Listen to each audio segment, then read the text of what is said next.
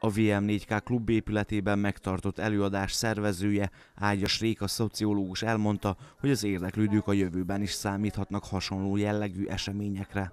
A Hétfakutató Intézettel partnerségi kapcsolatot alakít ki a VM4K, úgyhogy a mai napon tulajdonképpen erről beszélgetünk, és az este pedig azért is őket választottuk, hogy egy picit megismertessük a közönséggel a munkájukat, ugyanis ők számos olyan kutatásba vettek részt, koordinálták és vezényelték le, ami a vajdasághoz is köthető. Geambasú Réka 2010-ben költözött Kolozsvárról Budapestre, ekkor csatlakozott a Hétfa Kutatóintézethez és elemzőközponthoz.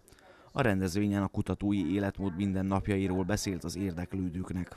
Beszélgetésre készülünk alapvetően, amely kapcsolatban a felkérés arra vonatkozott, hogy majd arra próbáljunk meg reflektálni, hogy milyen, hogyan néz ki a kutatói életmódnak a a színfalak mögötti része, milyen típusú tudások, milyen típusú készségek kellenek ahhoz, hogy az ember egy jó nemzetközi vagy több helyszínen zajló kutatást megszervezzen, koordináljon. A Hétfa Kutatóintézet 2009-ben alakult.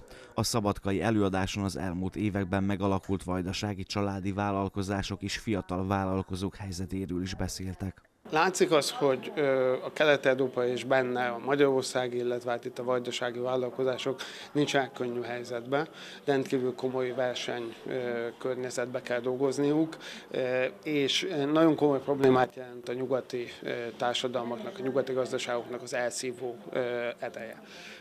Tehát tulajdonképpen itt egy olyan munkaerő migrációs folyamatok vannak, amik kedvezőtlenek a vajdaság, Magyarország, ország tágabban egész Kelet-Európa számára. Csite András hozzátette, azt tapasztalja, hogy a gazdaságfejlesztési programok, amelyek beindultak régiónkban az elmúlt években, komoly kísérletet jelentenek arra, hogy ebbe az összeurópai versenybe egy kicsit jobban megállják a helyüket a vállalkozások.